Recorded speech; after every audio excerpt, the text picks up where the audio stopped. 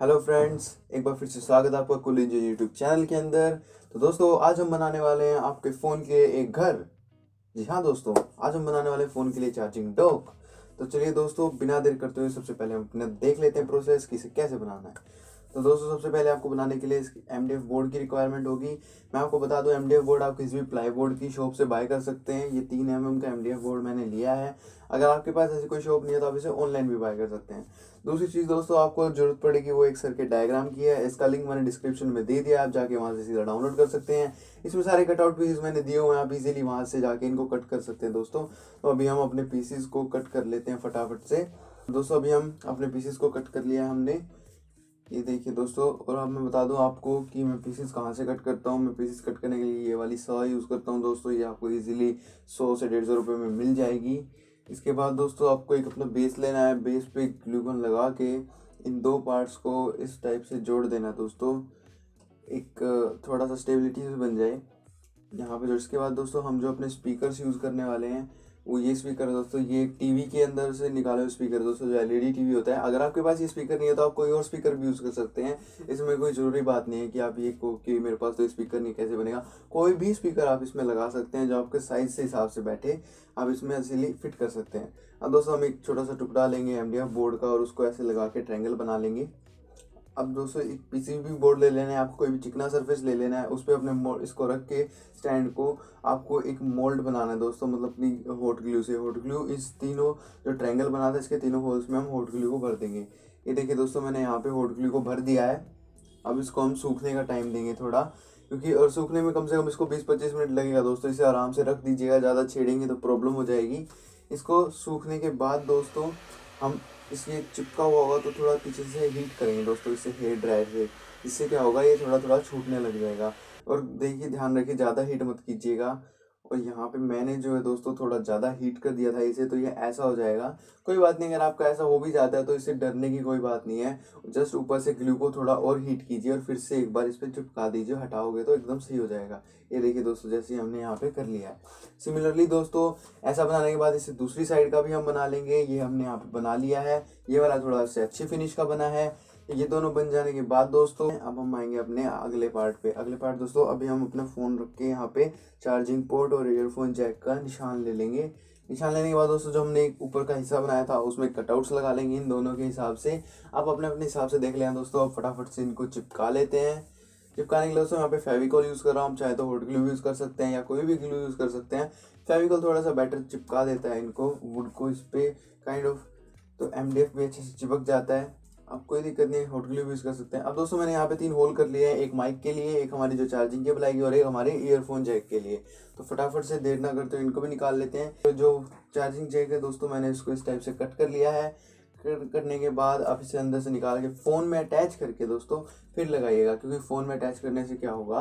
ये ईजिली सही सेट बैठ जाएगा अपनी जगह पे, जो भी इसका हिसाब होगा। नहीं तो आपको बड़ी प्रॉब्लम आने वाली है इसको सही बिठाने में। इसलिए पहले फ़ोन अटैच कर लेना, फिर इसे लगाना और बाद में इसे सिक्योर कर देना हमारी हॉट ग्लू से। सिमिलरली दोस्तों, जो ईयरफोन वाली केबल है, उसको भी आप ऐसे सिक्योर कर लेंगे। सिक्योर करने के बाद इसके जो ऊपर वाला हमने पार्ट बनाया था, उसको हम लगा लेंगे इस पर ये हमने, इसको भी आप ग्लू, हॉट ग्लू से या फेविकॉल से मैंने यहाँ पे हॉट ग्लू यूज़ करके दिखा तो दोस्तों, दोनों चीज़ आप यूज़ कर सकते हो। इसके बाद दोस्तों, मैं यहाँ पे एक माइक्रोफोन यूज़ कर रहा हूँ। माइक्रोफोन कहाँ से मिलेगा दोस्तों? ये मैंने जितने भी कंपोनेंट निकाले, पुराने ईयरफोन से निकाले हैं। अगर आपके पास पुराने ईयरफोन नहीं है तो आप मार्केट में तीस चालीस रुपये का जो लोकल ईयरफोन भी आता है उससे भी ले सकते हैं दोस्तों।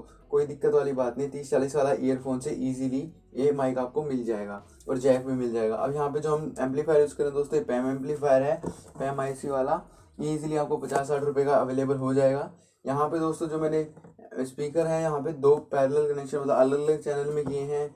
लेकिन जो मेरा मेन सर्किट है, जो मैंने बनाया है, इसमें मैंने स्पीकर सीरीज़ में किया दोस्तों, क्योंकि डेढ़ डेढ़ वाट के स्पीकर और हमारा एम्पलीफायर तीन वाट का है। वो फट रही थी आवाज़ उनकी तो इसलिए मैंने इनको सीरीज़ में लगा दिया। इसके बाद दोस्तों जो हमारे ईयरफोन्स की जो वायर होती हैं, थोड़ी अलग टाइप की होती है, इनको सोल्डर करना मुश्किल होता है।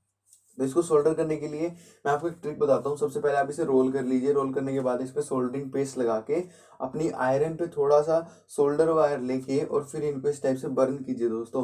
तो आप देखेंगे इन पे अच्छे तरीके से सोल्डर लग जाएगा और इसके बाद आप सोल्डरिंग करेंगे ना, जो परफेक्शन आएगी ना दोस्तों, वो देखने लायक होगी। तो बहुत अच्छे तरीके से सोल्डर हो जाएँगे। इसके बाद दोस्तों अपने माइक्रोफोन की सोल्डरिंग कर लेते हैं यहाँ पे। मैंने डायग्राम में इजीली एक्सप्लेन किया, आप डिस्क्रिप्शन डाउनलोड करोगे तो वहाँ से आपको कलर प्रिंट मिल जाएगा। तो वहाँ पे सारी वायर्स के कलर मैंने लिखे हुए हैं, आप इजीली काम कर पाओगे उससे दोस्तों। तो यहाँ पे देखिए दोस्तों, मैंने अपने एम्पलीफायर में जो कनेक्शन यहाँ पे कर दिए हैं माइक्रोफोन भी अटैच कर दिया है। अब दोस्तों, मैं दो एलईडी ले लूँगा और इन एलईडी को सामने से थोड़ा, दोस्तों, मैं रेगमार से खींच दूँगा ताकि इनकी लाइट जो है वो अच्छी तरीके से फैल जाए, एक तरफ़ टारगेट ना करे। अब इनको मैं पैरेलल कनेक्शन कर लूँगा, यानी पॉजिटिव से पॉजिटिव जोड़ लूँगा नेगेटिव से नेगेटिव जोड़ लूँगा। और फिर इनको मैं थोड़ा सा बैंड कर दूँगा दोस्तों, ताकि ये जब उसके अंदर हम रखें अपने डॉक के अंदर तो लाइट जो है अच्छी तरीके से फैल जाए। इसके बाद दोस्तों, जो मेन पार्ट आता है हमारी जो चार्जिंग केबल है, उसमें कट करना एम्पलीफायर की वायर जोड़ने के लिए, ये काम आपको थोड़ा पेशेंस से करना पड़ेगा दोस्तों। अगर आप थोड़ी भी गड़बड़ कर देंगे तो हो सकता है वायर कट जाए। तो इसलिए आपको ऊपर ऊपर की लेयर हटानी है, जैसे मैंने यहाँ पे हटा दी है। ये लेयर आपको हटानी पड़ेगी, बहुत ही ध्यान से हटानी पड़ेगी दोस्तों। मैं आपको फिर से बता रहा हूँ पेशेंस रखिए, सब होएगा अच्छा होएगा। ठीक है दोस्तों, ये होने के बाद अब इसमें आप दो कट लगा लेंगे पॉजिटिव नेगेटिव और हमारे एम्पलीफायर को। इसमें जोड़ देंगे दोस्तों, सिंपल।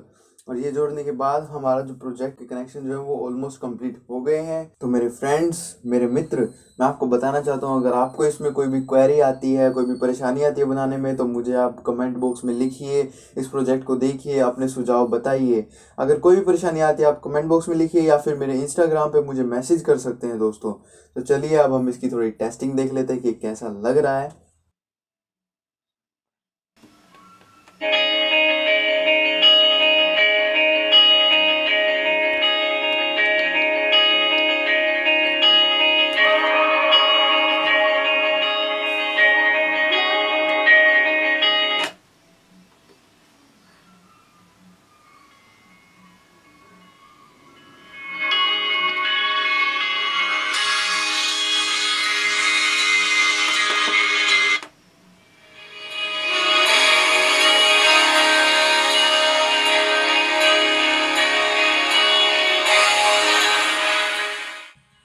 फ्रेंड्स हम आपके लिए इतनी मेहनत करते हैं, उसके लिए एक लाइक तो बनता है दोस्तों।